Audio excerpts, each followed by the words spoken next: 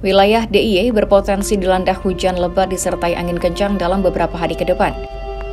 Perakiraan tersebut diperoleh berdasarkan hasil analisis dinamika atmosfer terkini Badan Meteorologi, Klimatologi, dan Geofisika Stasiun Meteorologi Yogyakarta.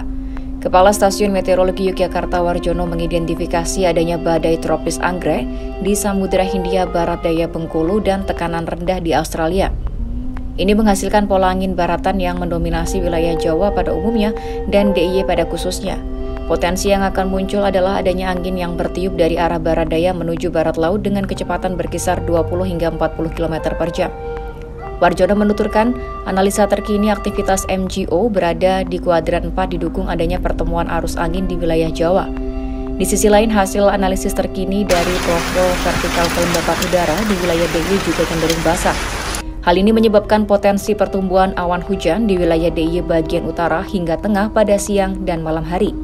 Atas dasar itulah, BMKG Stasiun Meteorologi Yogyakarta memperkirakan bahwa wilayah DIY berpotensi diguyur hujan lebat pada periode tanggal 17 Januari sampai 19 Januari.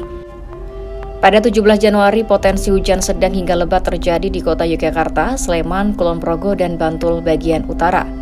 Kemudian pada 18 Januari potensi hujan sedang hingga lebat diperkirakan akan mengguyur Sleman, Kulon Progo bagian utara dan Gunung Kidul bagian utara. Lalu 19 Januari potensi hujan sedang hingga lebat berpotensi terjadi di Sleman, Kulon Progo bagian utara, tengah, dan Gunung Kidul bagian utara.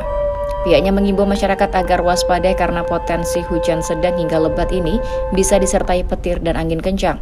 Sementara puncak musim hujan diprediksi terjadi pada Februari mendatang. Download Tribun X sekarang. Menghadirkan lokal menjadi Indonesia.